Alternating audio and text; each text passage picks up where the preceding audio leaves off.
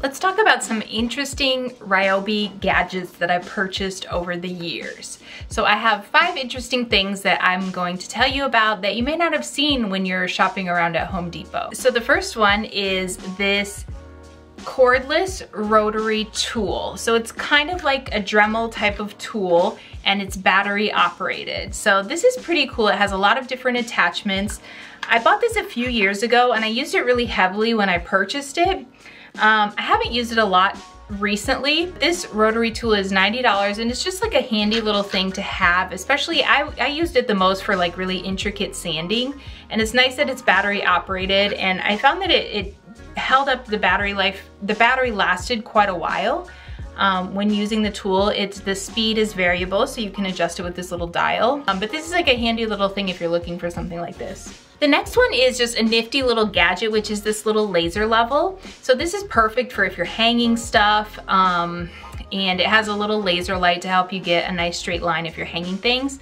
I couldn't find this exact one. I've had it for a few years.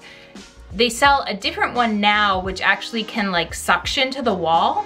So I guess that's their, their more recent model. This was like around $30, which is kind of high for a laser level. Um, but it's interesting. It's one of those things that when you need it, it's handy to have it, but it's not something you're gonna use all the time necessarily. Um, but I thought this was a cute little cube and it, this one you can pin it to the wall. It, has, it comes with like a little push pin so you can stick it to the wall temporarily. Um, but like I mentioned, the newer one, it has like a suction feature. I don't think I'll be buying one because I just don't need two laser levels. Um, but that, that looks really cool. Okay, the next one, I just bought this on Black Friday this year.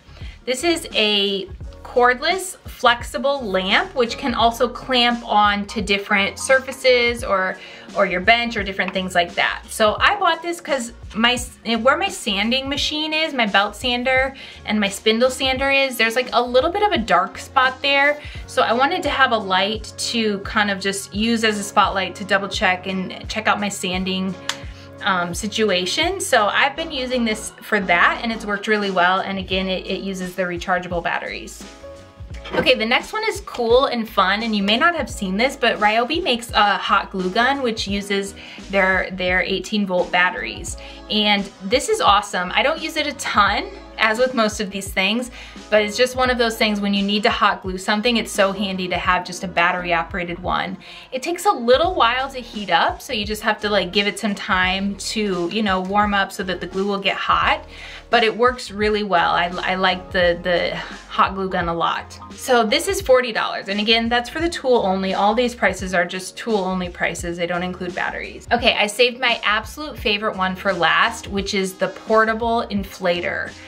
I use this a ton and I use this mainly for like blowing the dust out of my hair or off my face or off my clothes after I'm done sanding or working in the shop and it's super handy for that. It also works well for blowing the dust off of pieces after you've done sanding and things like that. It doesn't like, it's not extremely high powered, so it's not necessarily getting like every speck of dust off. You might have to still use like a, a tack cloth or something like that, but this works amazing just for blowing the dust off your clothes, if nothing else. This inflator is $35 for the tool only. Now, this is the third one that I've owned because I've broken a lot of them. I think that the dust gets in this little, like the intake area um, actually, I don't, I don't know if that's the intake area now that I mention it, but I don't know. I think it just gets dust in the motor somehow from just being in a dusty wood shop and I think it just stops working. So the, the third one, this, this one that I most recently purchased, I actually ended up getting the extended warranty, which was only a few dollars.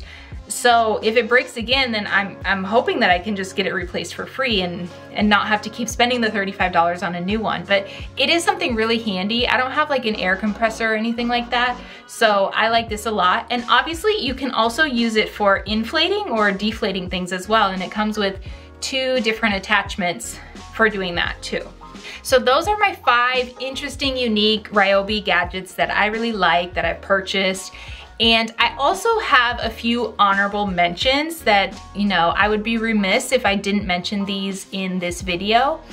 Um, so I started as a woodworker by purchasing the circular saw and drill combo from Ryobi, which at the time was $99.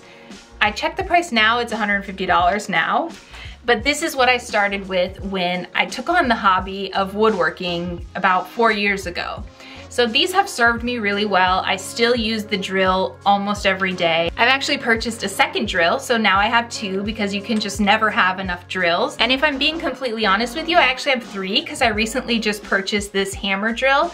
I'm not giving this much attention because I have not used it at all yet, um, but I'm looking forward to drilling into some cinder block with this Ryobi hammer drill, also battery operated.